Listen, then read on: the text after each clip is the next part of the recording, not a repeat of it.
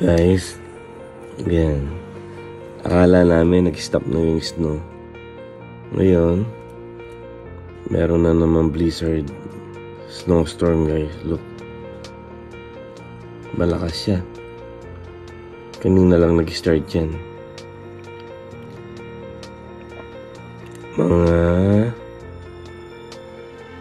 mga 8.30 nag-start na siya.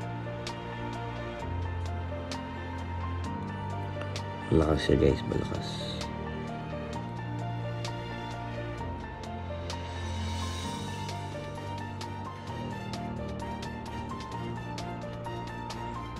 Saka yung hangin niya guys, ang lakas.